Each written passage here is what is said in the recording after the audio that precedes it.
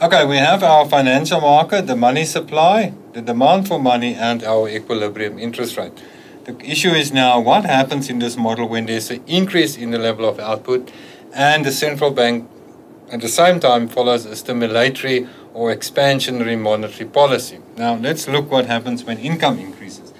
When income increases in the economy, the demand for money will increase. The reason is there's more transactions happening, so people need more money to do these transactions. And this, in terms of your diagram, shifts the money demand curve to the right. And there's this increase in the interest rate. And the interest rate increases. Now, if you follow an expansionary money monetary policy, it means the money supply increases in the economy.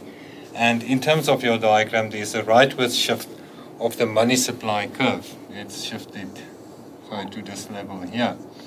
And as you can see, there's this change in the interest rate usually it leads then to a decrease in the interest rate.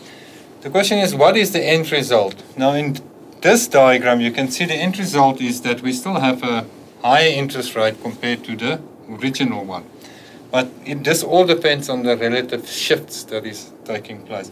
If the money supply, for instance, shifted to this level here, you can see that we will have a lower interest rate compared to the original interest rate. So we never can definitely say, say whether the interest rate is going to be higher or lower unless we know by how much these shifts are.